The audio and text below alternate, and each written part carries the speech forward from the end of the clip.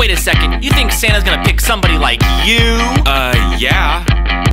Someone who's a brainiac, always reading books, loves to do experiments, cultured and who cooks, knows a bit of everything, teaches women's lit. That would be the person that I hope that he would pick. No, someone who plays basketball, volleyball, and skis. One who likes to play outside, climbs on all the trees, runs a seven minute mile, rocks a pogo stick. That would be the person that I hope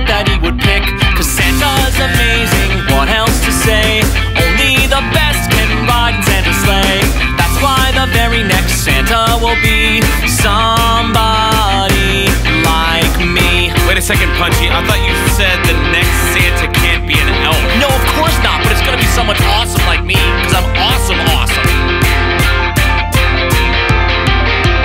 Someone who plays saxophone in a marching band, likes to sew and decoupage, crochets with one hand, likes to paint and photograph, plays a 12 bar blues. That would be the person that I hope that he would choose, cause Santa's amazing,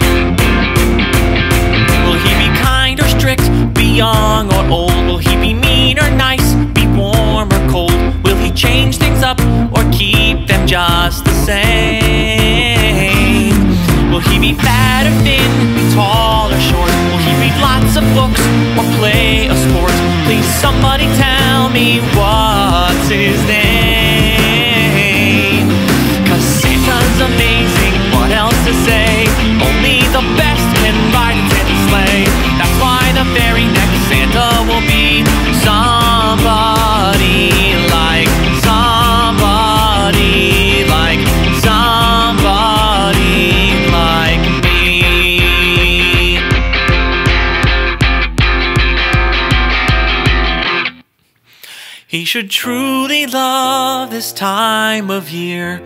Have tons and tons of Christmas cheer.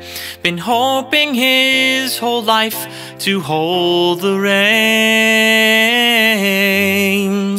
Cause Santa's amazing, what else to say?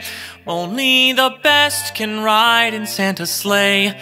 That's why the very next Santa will be definitely me.